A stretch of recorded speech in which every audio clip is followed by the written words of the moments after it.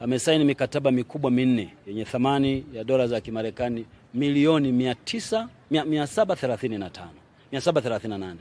Hizi ni fedha nyingi sana, na wawekezaji wengi wametoka nje ya nchi. Sasa huu utaratibu wa watu wengine kuja kutegesha kwenye hayo maeneo ili walipe fidia kubwa e, inatuvunja moyo na kutusononesha. Tunataka yule ambaye anamiliki ardhi alipwe bila kupunjwa hata milimita moja, na haya ndio maelekezo ya Mheshimiwa Rais. Lakini wale wanaotegesha tuwaombe, tuwaache kufanya hiyo kazi, wafanye shughuli nyingine, kwa sababu haitawalipa, hawatalipwa kwa sababu ya mazingira kama hayo. Tunataka mwekezaji akija akute mazingira rahisi ya kufanya biashara, na Mheshimiwa Rais kuzunguka kote duniani kuita wawekezaji kuja, tutakuwa tunamvunja moyo kama watatokea wajanja wachache wanakuja kuharibu hiyo miradi kwa kutumia neno la utegeshaji. Lakini wapongeze sana wilaya ya Ngara, wamefanya kazi kubwa ya kuendelea kuwaelimisha wale wananchi ambao eh, wanakuja kufanya vurugu hizo.